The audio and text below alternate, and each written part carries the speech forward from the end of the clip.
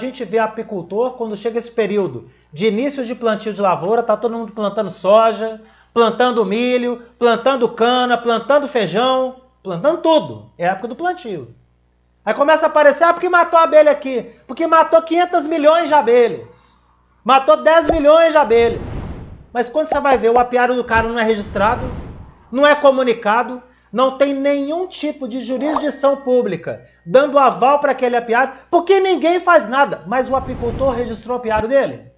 Não registrou, Thiago? Tem que cumprir o papel dele, né, professor? Ele tem que cumprir o papel dele para ele ter o quê? Ele ter o gabarito para poder cobrar do Estado uma ação do Estado. Que juiz que vai dar ganho de causa ao apicultor se ele trata o apiário dele como um apiário de contrabando? Clandestino. Clandestino. Não pode, né, Thiago? E a gente ouve muito falar do apicultor que perdeu todos os abelhas para veneno. A gente não ouve um apicultor que entrou com processo judicial. Não ouve falar de apicultor que entrou com processo judicial. E existe jurisprudência. Existe. Até em São Paulo mesmo, onde nós aplicamos treinamentos, tem uma usina em Jales. Não vou dizer o nome da usina. Mas quem é de São Paulo, que é da cidade de Jales, já vai emendar na hora qualquer usina. Nós aplicamos o treinamento, passou um período de 90 dias, o apicultor ligou, Armindo, nós mandamos o comunicado, a usina não falou nada, bateu o veneno, matou as abelhas. Vocês produziram as provas? Aí eles falaram, produzimos. Vai na justiça.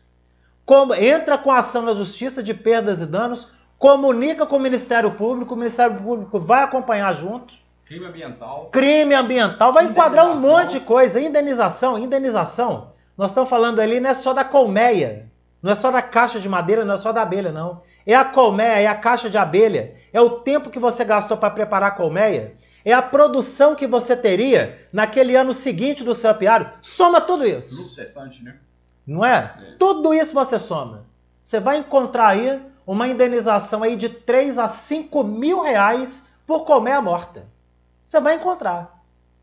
E lá em Jales teve jurisprudência disso. Apiário com 200 colmeias, apicultor recebeu a indenização da usina, foi de 100 mil reais. Do apiário que morreu todo. Nunca mais, nunca mais a usina fez essa besteira. Aí comunica bonitinho.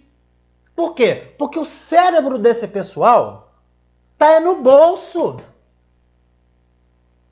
Dói no bolso para ver.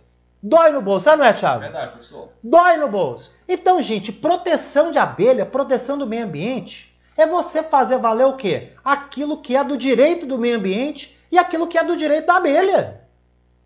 Mas você tem que ter ação. Não é comunicar em grupo de WhatsApp, em grupo de Facebook, ficar rodando Espero vídeos ver. e mais vídeos. Ah, vamos mandar, mandar para televisão, para televisão mostrar. Não dá em nada. O que dá é você entrar no pau contra esse povo.